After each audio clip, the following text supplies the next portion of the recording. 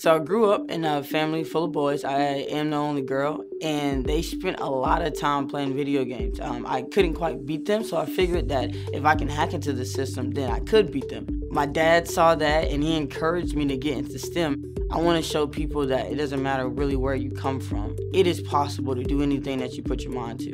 I'm from the small town of Roxboro, North Carolina, and when I came to the city of Charlotte and saw the towering and massive buildings that the city had, it made me want to pursue civil engineering. And hopefully, when I graduate with my civil engineering degree, I can be a part of the design or construction of another tall building that will have a positive impact on people's lives.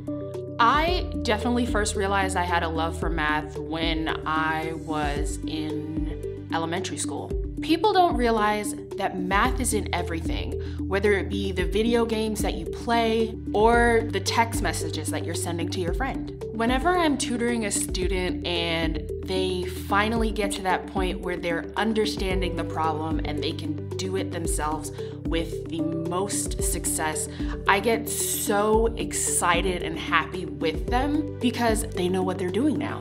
The day I was born, my mom coded out due to complications with her pregnancy. If it wasn't for the doctors that completed their resuscitative efforts, I wouldn't be here today or that I wouldn't have a mother. And that really just sparked my love for biology. I plan to go to medical school and become a licensed physician so that I'll be able to give services and healthcare to underserved communities and underrepresented populations.